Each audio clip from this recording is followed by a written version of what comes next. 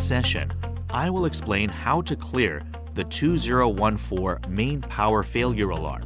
This alarm is generated due to insufficient power capacity compared to the machine specifications or by three-phase unbalanced voltage. In principle, customers' power capacity should be increased or the three-phase unbalanced voltage should be improved.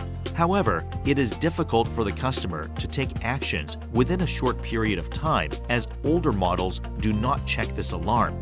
Therefore, this method is taken to minimize the downtime by temporarily changing the hardware.